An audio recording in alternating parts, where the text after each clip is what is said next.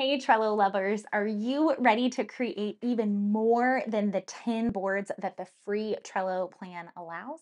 If so, this video is for you.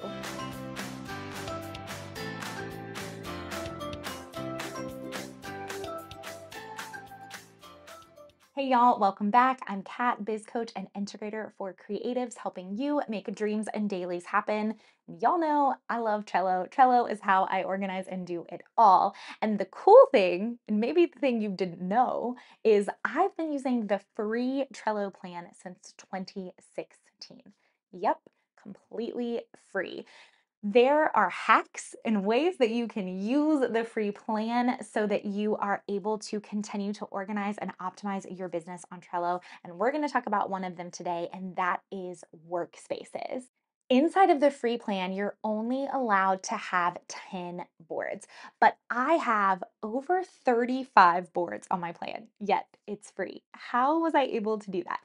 It's with workspaces, you guys. I want to flip the screen. I want to show you what I mean when I say workspaces and how you can start to add workspaces to your currently free Trello plan to continue to optimize your productivity and streamline your to dos with Trello. Before I flip the screen, though, I want to remind you guys I have my ultimate Trello template bundle available for you 10 templates, 11 video trainings all around Trello, all the things Trello. So if you are ready to jump into Trello, or maybe you've started jumping into Trello, but you're feeling a little bit lost and dazed and confused with all of the options, this bundle might be the perfect fit. So click the link below to grab it. And while you're at it, make sure you download my two free Trello templates too.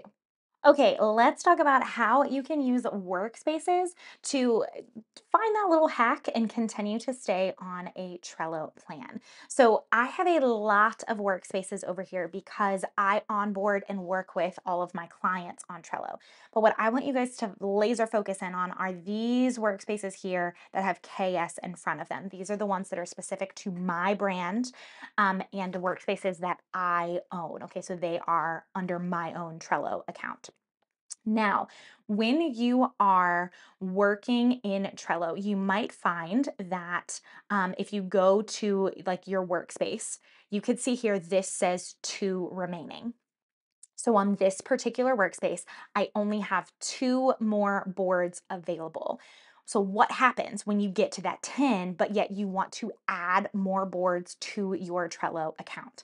What you need to do is simply create a new workspace. It's free and it lives under your same account and it's that easy. So you would just go up here to the plus sign, create a new workspace. So we'll do it as a test. Choose the type. I'm just going to put other continue. I'm not going to invite anybody right now.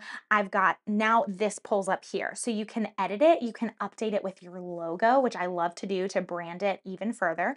So you can update it with your logo. You can change out the title whenever you want to. So now if I go back here to Trello and if we go to this KS section that I've got here, we've just created a brand new workspace that gives me 10 more boards. So what I like to do I've created a workspace that's archives. I have just regular archives of some old boards that I don't want to delete because I might need them again at some point, but I'm not actively using them. And then client archives, same thing. I'm not actively utilizing these boards, but I wanted to keep them in here just in case. So I've got those. So when I'm done with something on one of these workspaces, I can just move it over. So like say, for example, with Erin's, I'll just do this for her and then I can move her back. Whoops. Um, say I want to go up here to workspaces and I want to change her workspace. So this is where I would change a workspace right up here at the top of the board. I want to change her workspace and I just want to change her to KS Archives. Change. So now she's been moved to archives. I can pop back over here to Trello and now she's not here anymore. And I've got three boards remaining instead of two. And then I go to archives, she is now right there. So really easy to move boards from workspaces so that you can better organize and optimize how you are using Trello. You can see right here the workspace, all of the workspaces I have. I've got a team workspace Um, I've got a personal because I do some personal life organization on Trello. I've got offers. What that means is all of the offers. So any way that somebody can pay me money, okay, that's what an offer is. All of those are here. I've got my content.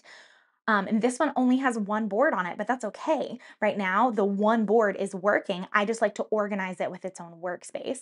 I've got a client section, a client archives I just showed you guys, and then an overall archive. So I just use workspaces to leverage how many boards I have.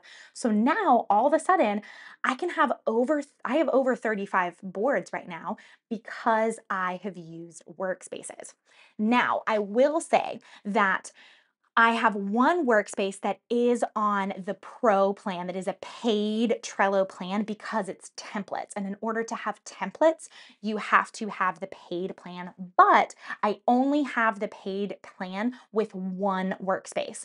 So it saves me money. I don't have to have the paid plan on all of these other workspaces. I just put all of my templates in one workspace. And so those are, you know, the ones that are available in that ultimate Trello bundle that I told you guys about.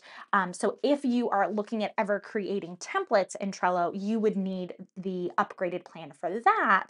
But all of your free, um, or excuse me, all of your other workspaces can continue to stay on the free plan. So that's the Trello hack, you guys. Just create a new workspace and get to organizing. I hope that screen share was helpful. Let me know what you think in the comments below. And if there's any other Trello tutorials I can give you, bring it on. I love talking about Trello and would love to help. I'll see you guys next time.